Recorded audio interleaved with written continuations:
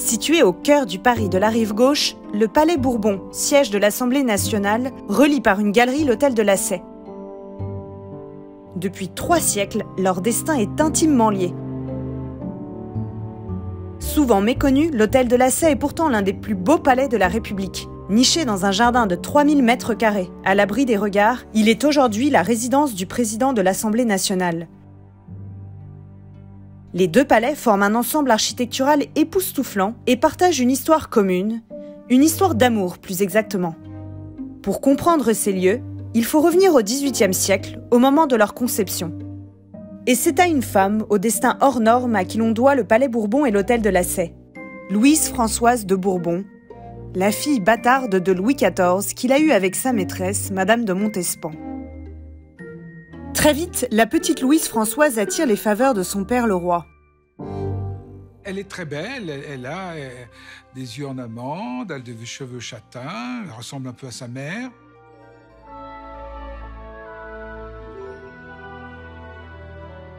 Sa répartie, sa grâce et sa beauté dénotent à la cour. Très vite, Louis XIV la légitime. Alors qu'elle n'a que 12 ans, elle est mariée sur ordre du roi au duc de Condé, qui en a 16. Un mariage qui permet au roi de se réconcilier avec son rival, le prince de Condé, le grand-père de son époux. Il dote sa fille de 1 million de livres, une dot royale. Mais pour Louise Françoise, ce mariage tourne au cauchemar, car le duc n'a rien du prince charmant. Louis de Bourbon est un personnage euh, franchement odieux, un homme euh, très imbu de, lui-même, donc euh, très orgueilleux, euh, autoritaire, agressif euh, et même sadique. On a des, exemples montrant qu'il y a eu un comportement sadique, notamment à l'égard de, de femmes. Après avoir passé le plus clair de son temps à éviter son mari violent, elle lui donne tout de même neuf enfants. Mais à la mort de celui-ci en 1710, après 25 ans de mariage, Louise Françoise est comme libérée. Veuve à 37 ans, elle est à la tête d'une immense fortune qu'elle compte bien utiliser pour s'émanciper. En tant que veuve, elle peut se permettre beaucoup plus de choses. Elle dispose maintenant de sa liberté totale, à la fois juridique euh, et financière, et donc elle a une liberté de, euh, que lui donne son rang euh, d'altesse sérénissime.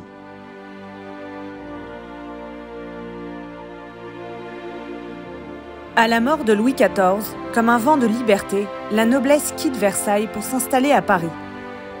Elle va peu à peu coloniser de nouveaux quartiers.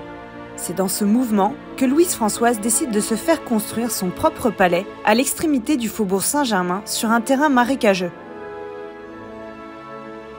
Ici, eh bien, il y a 300 ans, nous aurions les pieds dans l'eau. C'était le marais de la Grenouillère et le nom indique bien de quoi il s'agissait. C'était une zone humide, il y avait quelques maisons de maraîchers, très peu d'habitants, euh, des bateaux lavoirs le long de la Seine où euh, de, jeunes femmes brassaient un petit peu le linge sale de la capitale, mais c'était à peu près inhabité. Mais cet emplacement est stratégique.